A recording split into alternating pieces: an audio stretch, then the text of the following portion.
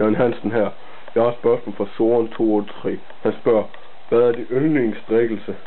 Og hvor hurtigt? Nej, eller hvordan var det stået? Hvor meget skal der til, for at du får det dårligt? Nu skal jeg komme og se her.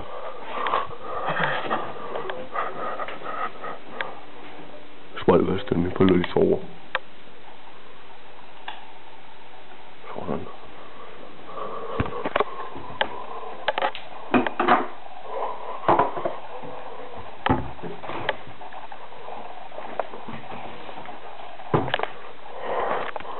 Det skal rigtig hurtigt. Jeg elsker det bare.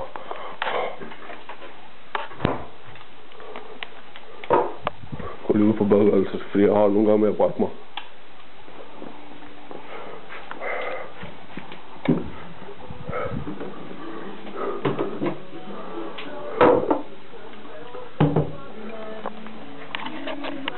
Øh.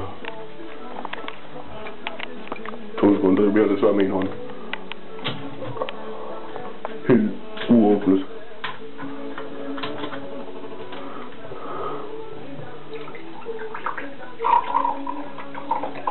Köfte.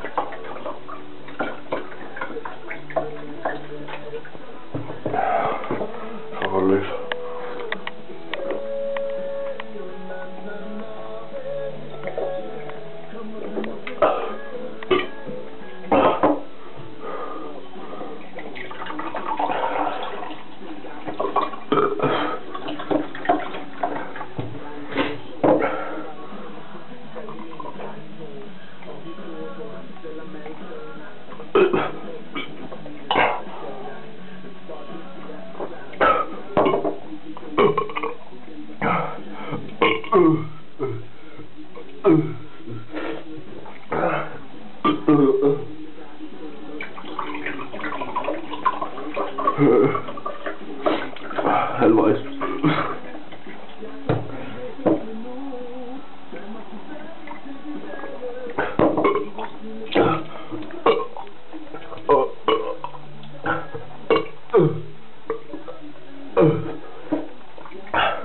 Ej, nu er det udlæg.